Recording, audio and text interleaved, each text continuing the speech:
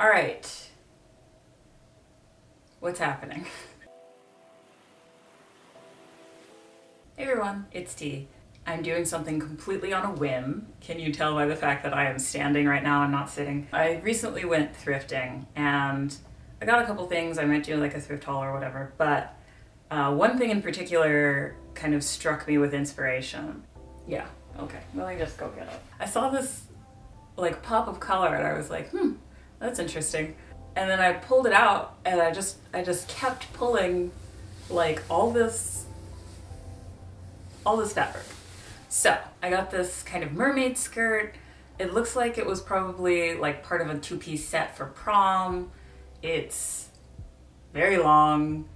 It's very pink. And I bought it without thinking about it, which is not a good thing to do. Don't don't be like me. But I was thinking after kind of marveling at the uh, length and impracticality of it, I could make it into an equally impractical but also very pretty Selkie style princessy puff dress. I thought why not make my own some kind of similar thing, maybe with a twist. Who knows? I don't know if I'll have time for that. I just decided to do this today. I have to look up a couple things. Honestly, this might have been handmade. It really smells like perfume. I washed it, it still smells like someone's perfume. It was $7. Incredible. My plan is kind of to make a pattern by myself, mostly because I'm not good at patterns. Uh, I'm gonna make the sleeves first, just because I'm not sure if I have enough fabric for both the sleeves and the bodice. And then I was thinking that I could use this overshirt thing that I have as the basis for the bodice, just because I hate patterns. So yeah, let's get to it. So I thought the sleeves would be my biggest challenge. I've done puff sleeves and cap sleeves before, but never in a large, voluminous way. I ended up using a similar method to Halfsoybean on YouTube. I'll link the video down below.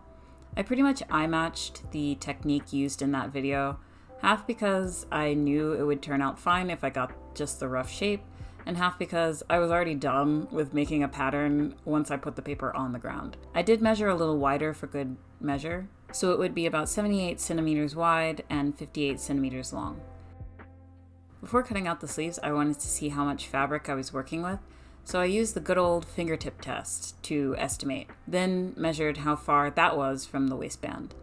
I knew that this dress would be fairly short, so I knew that I would have a lot to work with if I cut off that amount of length. I use my water bottle as an impromptu fabric weight because this fabric slips and slides everywhere. Around this time, I realized that I lost both of my seam rippers. So this entire vlog, I've been just using my giant fabric scissors to rip my seams. Um, in doing so, I sliced open my finger, which you will see the Pokemon Band-Aid in the next clip.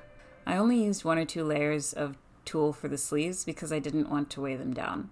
I didn't film sewing the sleeves because it's pretty boring and self-explanatory, but I did add channels to both seams to slip the elastic in, because that's the only way I really know how to make puff sleeves well. I measured the widest part of the old guns to be about 27 centimeters, then I cut my elastic to be slightly less than that. Alright, uh, I'm shiny. Ignore that. So we have one sleeve. Done. That's what I did in two hours. I mean, I guess I cut all the fabric, but there's, you know. I just realized that I've run out of pretty much everything. The pink thread that I'm using is uh, my grandmother's. uh, and so it is at least 30, 40 years old. Uh, it keeps breaking, so I need to get more of that. Um, I don't have any more elastic, or I have a little bit, but not enough to finish the next sleeve. I'll probably need a zipper, and if I get that, then I'm going to need a zipper foot because I have no idea where my zipper foot is. You know, this is what you what happens when you just decide to sew one day, I guess. But I guess I will see you tomorrow. Okay, so the hem was chaos. This is what happens when you just kind of try to eye it and cut willy-nilly. I swear when I get a dress form, it'll be over. I'll be set for life. Regardless, this was the best I could do to try and make it even. I then spent a good like three hours to pin all of the layers up and around evenly, and I will not show that for the sake of my own sense of pride. I also did use that overshirt I showed as a basis for the bodice. I didn't want to waste paper, so I made the front and back kind of modular. I just had to cut out the back first and then the front, right? Right? Wrong! Well, I'm not sure if I mentioned this before, but I was planning to put a zipper in the back. Are you seeing my problem yet? Let's move on. I sewed all the layers of fabric right sides together, turned them inside out, ironed them, and somehow had a lined bodice. Who knew? This fabric is hell to iron, by the way. If you see something and you're like, oh, you should have ironed that. Well, I tried. I sewed the front and back sides of the bodice together, sewed those to the skirt, and then I realized wait, I can't get this over my hips. There was supposed to be a zipper in the back. Oh no. What am I, some kind of Barbie doll? I didn't leave enough seam allowance for there to be a zipper anymore, so I had to pivot completely. All right, it is a new day. Um, ignore this crazy hem. I'm still hamming it, but it's basically kind of done. Not really.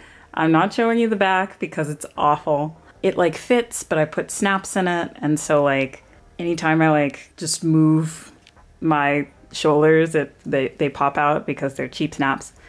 So I might do something else with that. I was thinking lace or something like that, but that would require another trip to Joann. And I know they're tired of me. I'm sorry. Regardless, I need to hem it.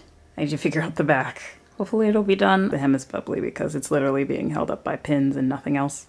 Ignore everything that's behind me also. I like it. It's very, it's much more low cut than I thought it would be, but you know, it covers, it covers things. So like, who cares? Yeah, I will see you when it's done. So, in trying to salvage the back of the bodice, I cut it apart, sewed the ends closed, and tried various things. I mentioned the snaps that kept on snapping. I also tried making my own corset lace loops, which was a good idea in theory, but like massively flawed and wonky in practice. In the end, I decided on something much simpler, um, so let's head to the end of the video. So, this is the finished product. She's short.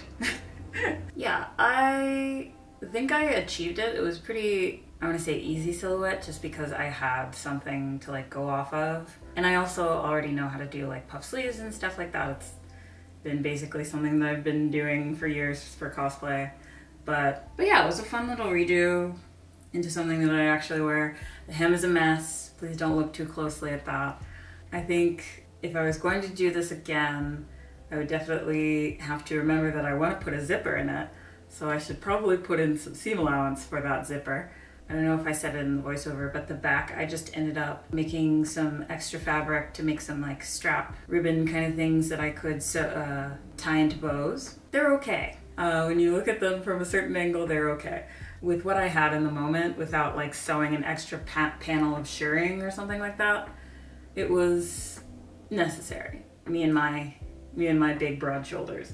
But yeah, that's all I have for this video. Yeah, you can feel free to roast this dress in the comments below. But also I feel like, you know, you have something that you are aspiring to, some some kind of like silhouette or style or something like that. Why not just go to the thrift store and see if you can find something similar and then just like chop it up and make something make something that you like, you know? That's my personal style philosophy anyway. Uh, if you like this video, make sure to like it, subscribe if you want, comment if you like it. Catch you next time. Thanks.